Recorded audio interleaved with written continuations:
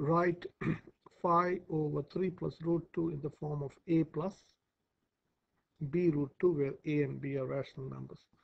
Now this is an example of rationalizing the denominator. So let's write what is given. So we've got 5 over 3 plus root 2.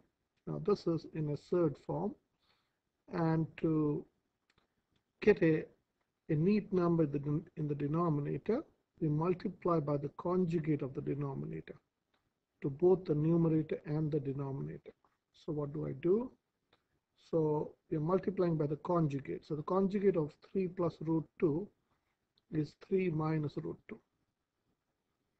So if you're multiplying the denominator, you multiply the same thing to the numerator. So 3 minus root 2. So this becomes 5 times 3 minus root 2 divided by 3 plus root 2 times 3 minus root 2. So now to just expand the bracket, so this is 15 minus 5 root 2 divided by expanding this, so 3 times 3 is 9 minus 3 root 2 plus 3 root 2 minus root 2 times root 2 root 2 times root 2 so this is 15 minus 5 root 2 divided by divided by uh, this gets cancelled. So minus 3 root 2 and plus 3 root 2 gets cancelled. And root 2 times root 2 becomes 2 so this is 9 minus 2, which is 7. So now writing this in this form, so this is 15 over 7 minus 5 over root 5 over 7 root 2. So just for this is enough. Just to understand what the question is, A you can compare with 15 over 7, which is a rational number. A rational number is a number which has a numerator and a denominator. In fact, any number can be written other than irrational numbers. Uh, uh, any number which are not irrational. Root 2 is an irrational number. You cannot write this. You can't. You can write. You cannot write this as a fraction. So I'll not go into this. so b would be minus 5 over 7. That's all. Okay, so the next question. What's the remainder when this is divided by x minus 3? so according to the remainder theorem,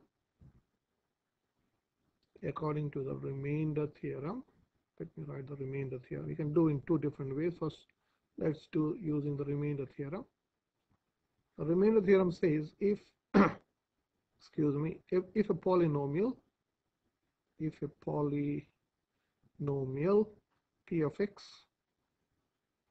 is divided by say x minus a then the remainder then the remainder is p of a. So what does this mean? How do we apply this in this example? So your p of x in this case is x raised to 4 minus 5x squared minus 4x plus 8 and your x minus a is x minus 3 so you can compare with a with 3 so according using remainder theorem you can say remainder is p of 3 that means in place of x you have to put 3 so this is 3 raised to 4 minus 5 times 3 squared minus 4 times 3 plus 8. So 3 raised to 4 is 81 minus, we'll do the exponent first. So this is 9 times 5 is 45 minus 12 plus 8. So let me use a calculator. Uh, so this is 81 minus 45 minus 12 plus 8 which is 32. The remainder is 32. Or you can also use the synthetic division method. So you're dividing, uh, let me erase this. So this is one way, the, this is one way of doing it. So let me cancel this. So the other way is you have to divide this. But before dividing, you have to write this in the standard form. So in the standard form, this is x 1x to the power 4 plus 0x cubed. Now this was a tricky question. The, you don't have an x cubed term, so minus 5x squared minus 4x plus 8. So you do the synthetic division. Hopefully you know the synthetic division. So you write the coefficients of the given polynomials, which is 1, 0, minus 5, minus 4, and 8. And you're dividing by 3 because x minus 3 you're dividing by 3 uh, assuming or presuming that x minus 3 is a factor. So you start with 0, so you add these two. 1 plus 0 is 1, then you multiply this two. So 0 plus 3 is 3, 3 times 3 is 9, minus 5 plus 9 is 4, 4 times 3 is 12, this is 8, 8 times 3 is 24, and 32, and this is the remainder. The only catch was you had to write 0x cubed. Okay, so the next question, if if u is equal to if u is equal to b 6b cis pi by 4 pi by 3 and v is 2b cis pi by 4 find u over v in polar form. So u over v u and v are given in polar form. So this is 6b cis pi by 3 all these questions are achieved question at NCEA level 1 so I've made this video to show that this is not difficult to achieve. So this is pi by 4 so using the rule so b and b gets cancelled. So this is equal to 6 divide you divide the absolute or the modulus and you take away the argument which is pi by 3 minus pi by 4 okay so if you change this into degrees this is 60 degrees and this is 45 degrees. So 60 minus 60 minus 45 is 15 so this is this is 3 cis. So you to take away so this is making this 12 so this is 4 pi by 12 minus 3 pi by 12 and so the final answer is 3 cis pi by 12 and pi by 12 is 15 degrees. Okay or suppose if you don't like pi you could have done like this. So this is 6b cis pi if you want to change this into degrees so 180 divided pi is 180 degree so this is 60 degree. Divided by 2b cis this is pi by 4 half of pi by 2 is 90 so pi by 4 is 45 degrees.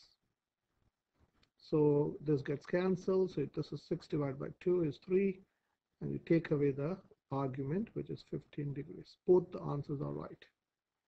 Okay one more. Solve x squared minus so let me use a different color. X squared minus 12x plus 41 equal to 0 and we want to write this in the standard or in this a plus root bi form so using the completing square method so this is x squared minus 12 x is equal to 40 is equal to minus 41 so first you have the coefficient you have the coefficient of x so minus 12 divided by 2 is minus 6. The second step is you square it. Minus 6 squared is 36. So I'm going to add 36 to both sides. So this is plus 36 plus 36. This is something that you learn by practice. So this is x minus 6 the whole squared is equal to minus 5. which is 5 times negative 1 so you can say x minus 6 the whole squared is equal to minus 1 is 5i squared so taking square root of both sides you can say x minus 6 is equal to plus or minus square root of 5i squared. So you can say x minus 6 is equal to plus or minus plus or minus square root of 5 times i because square root of i squared becomes i. So your final answer is x is equal to 6 plus or minus square root of 5i okay so you can compare your a with 6 and b with 5 okay one more. If u and v are plotted in the Argand diagram so this is your u and this is your v. Plot u times v in the Argand diagram below. So first we have to write u and v. So what is u? U is minus 1 plus 2i you could have done this on a calculator but I will do without a calculator v is 2 minus 2i 2 minus 2i so you want to find u times v which is minus 1 plus 2i times 2 minus 2i. So explaining this, so this is how much? This is minus 1 times 2 is minus 2. Minus 1 times minus 2i is plus 2i. This is plus 4i, plus 4i, and minus 4i squared. So let me simplify this. So this becomes 6i. So this is minus 2 plus 6i. And this becomes how much? This becomes plus 4 because i squared is negative 1. So minus 4 times negative 1 is plus 4. So your final answer is 2 plus 6i. And 2 plus 6i is this point. So this is u times v, which is 2 plus 6i. Okay, one more. If u is 4 plus ki and v is 2 plus ki, find u times v. So find k if u times v is 17 minus 30i. So let's do u times v. u times v would be 4 plus ki and v is 2 plus ki. So let's expand this. So it's a 4 times 2 is 8 plus 8 ki plus 2 ki plus k squared i squared. Okay, so this is 8 plus this is how much? This is 8 ki plus 2 ki is 10 ki and this is going to be minus 1 so this is minus k squared so this simplifies to 8 minus k squared this is the real part plus 10 ki and that is equal to minus 17 plus 30i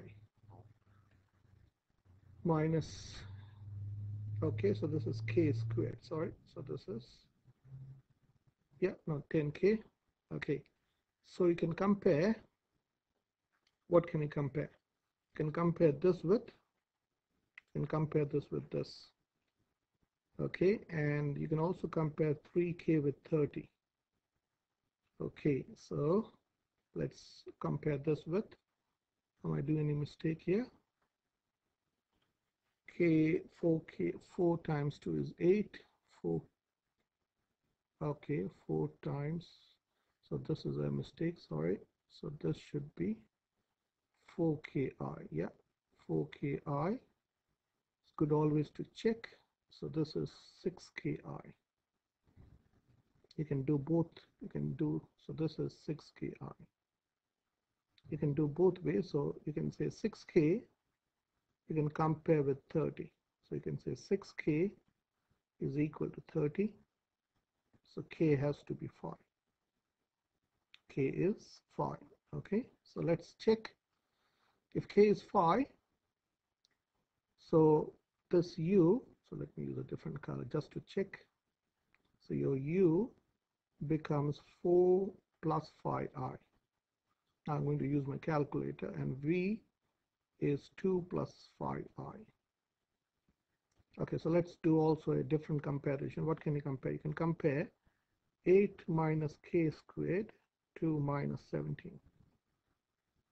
Okay, so if you make k squared the subjects, we're going to move this to this side, to this to this side. So 8 plus 17 is k squared. So k squared is 25. So k is equal to 5. It can be plus or minus 5, but as we have compared here, k is 5. Okay, so let's confirm. This times this should give you 17 minus minus 17 plus 30i. So let me use a calculator. So I got an i here. So go to run menu, bracket 4 plus 5i, just like that, bracket 2 plus 5 shift i. Close the bracket, minus 70 plus 30i. So answer is right. Hopefully these examples would help you. And these are simple questions. You learn only this by practice.